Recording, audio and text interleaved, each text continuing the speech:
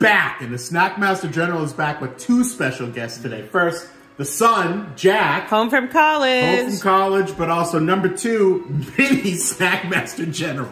Mini Snackmaster General. And we are here today to discover Goldfish Crisps. Now, Goldfish is a I classic. Goldfish. Yeah, classic of the snack game.